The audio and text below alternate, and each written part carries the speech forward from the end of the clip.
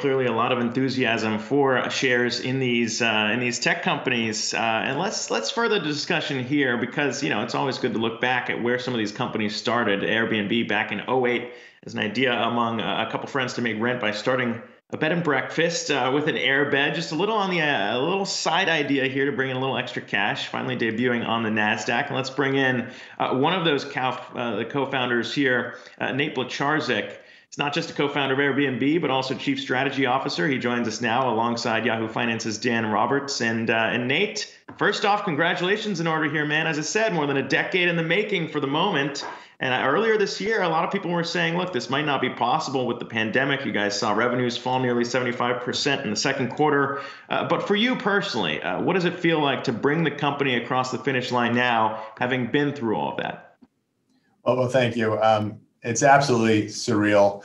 Um, you know, as you mentioned, this has been an incredibly difficult year for the world and for travel and tourism. And we never have expected at the start of this year, back in the spring, that you know we'd be ending the year uh, this way. And, and, then I look back over the last 13 years, and it's been an incredible journey because uh, in those early years, especially, you know, so many people thought we were crazy. This idea of you know opening your home up to to strangers, um, and it's been an amazing uh, journey to see this uh, concept spread around the world um, and become so mainstream.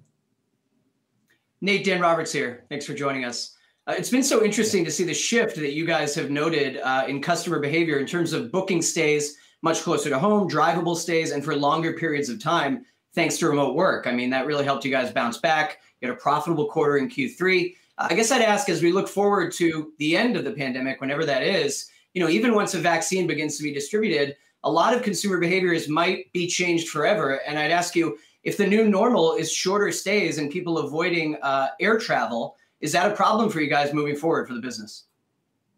Well, I think this year has highlighted the adaptability um, of the model because uh, indeed, you know, people have more or less stopped flying, going very far. Um, but you know, people have a fundamental need uh, to connect, and I think a desire to travel, and we certainly uh, saw that for the second half of this year. Uh, people getting out and, and getting in their cars and, and traveling a shorter distance and staying nearby, and using uh, Airbnb to do that. Um, you know, as for the future, it's it's difficult to predict, but what I'm confident is that you know Airbnb can adapt to whatever consumer demand is. Um, you know, I do think there will be a vaccine at some point, and I do think at some point folks will get back on airplanes. Um, but whether they're staying near or going far, um, you know, Airbnb will be there for them to help them uh, connect and, and have a great stay.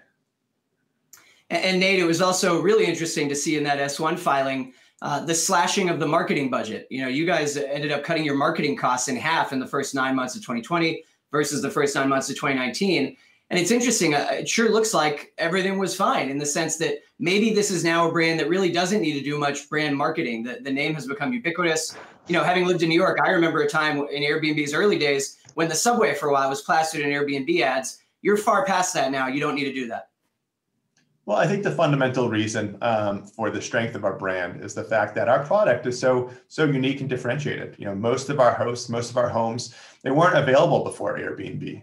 We've created a platform that empowers people to participate in the global industry of, of tourism. So many people are doing this for the first time. Um, for the most part, they're only on Airbnb. Um, and because our product is so different, um, and allows people to, to travel uh, and connect uh, so authentically, uh, it creates a lot of a lot of word of mouth, a lot of buzz, and strengthens the brand. So that's why I think we're doing so well, despite having spent um, almost no money on marketing this year. And Nate, when you think about Airbnb's uh, strategy, what you were building out pre-pandemic, it did feel like you were really going for the entire travel stack here. You had the home sharing, you had the experiences, also rumors of you getting into flights as well. Uh, the pandemic has kind of forced you to sort of pivot a little, and I wonder if the ultimate goal here is to be end to end when it comes to travel, or is that sort of put on hold because of the shift in demand you're seeing right now? Well, I do think long term that is our ambition to facilitate the end to end trip and, and really enhance it. Um, you know, that being said, this year has um, required us to, to focus more um, because this spring was incredibly hard. We did take a big hit when our revenues fell and we had to do um, a layoff. And so, as part of that, we really uh, needed to reprioritize. And we said, let's double down on, on what truly makes Airbnb unique and our, our core strengths and that is empowering uh, ordinary people uh, to participate as hosts. um, and to you know help folks travel in the way that they want to travel right now, which right now is nearby stays. So that's been our focus, uh, you know, for the second half of this year, and I think that will continue uh, into next.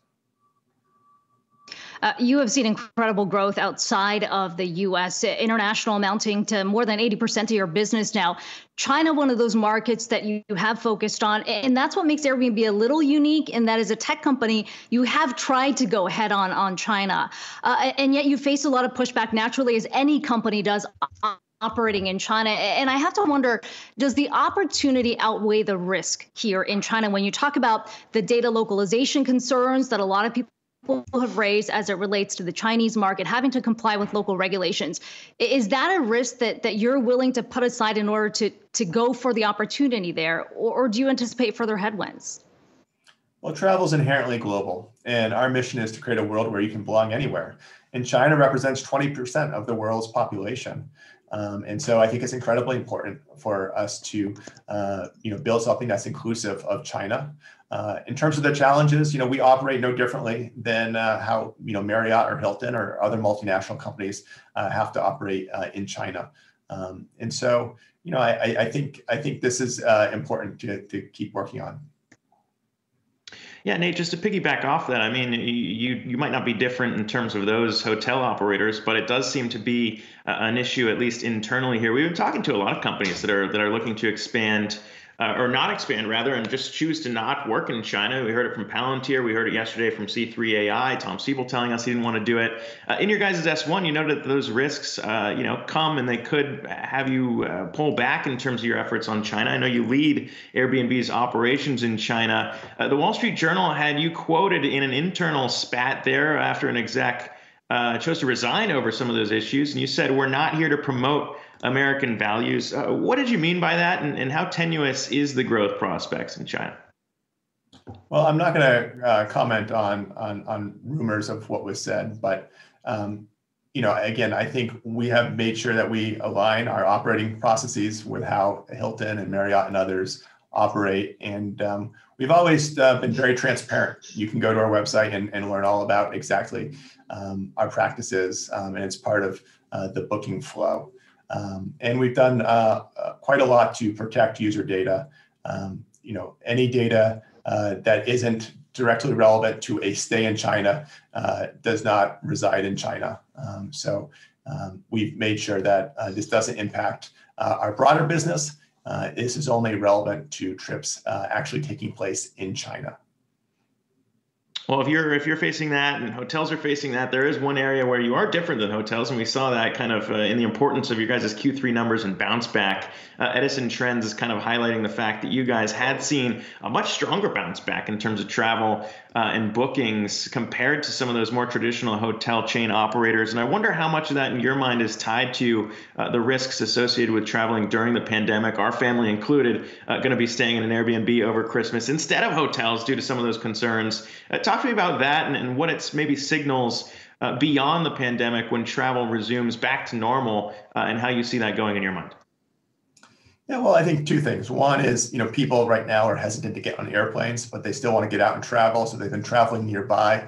Uh, and Airbnb has homes in over 100,000 cities and towns around the globe, including in rural areas. So I think we are well suited to help people stay nearby in rural areas. Um, you know, second, as you mentioned, folks are very conscious about health safety, um, about maintaining social distance. And so there's a hesitancy about being around other people. Uh, they, they, don't necessarily want to be um, in a hotel lobby or in a restaurant. Um, they're cautious. And so uh, we see people uh, opting to have an entire home to themselves right now, being able to cook their own food in a kitchen uh, and, you know, be with family who's within their, their, their kind of uh, their, their bubble. Um, what does this mean for the future? You know, it's hard to predict. There certainly will be a vaccine next year, um, and eventually, um, you know, travel um, will get back closer to normal. Um, but it, it will probably take some time. I think no matter what's to come, you know, Airbnb is adaptable. Um, the other trend I would comment on is just this this work from home trend. you know, I think that will linger. I think uh, because of Zoom, people don't necessarily, not everybody has to go into the office five days a week. What I think that allows for is folks uh, traveling, taking uh, you know long weekend kind of trips uh, more frequently, Um, they might be getting on airplanes to do so. They might be traveling nearby uh, to, to do so. So I think that's an interesting trend for the for everybody in travel to watch. Nate, it's Dan here again. You know, we keep hitting and talking about this Q3 comeback that the business had because it's so interesting, especially as it relates to uh, consumer behavior. But what critics say is, well, it was really helped by dramatic cost cutting. And as we mentioned, uh, having to slash 25% of the workforce, very painful. You know, once the stock starts listing today, and as we see, uh, no doubt, big gains on day one, it's going to be hard to watch for those 25% of employees who were cut. As we look forward and as the business starts to grow again, I mean, do you anticipate being able to uh, start ramping up hiring again? And what might you say to those people who were cut from the company right before the IPO? Well, look, I, I really do hope that uh, the world can get back uh, to uh, back closer to, to normal pre-pandemic. Um, you know, hopefully that'll come sooner rather than later.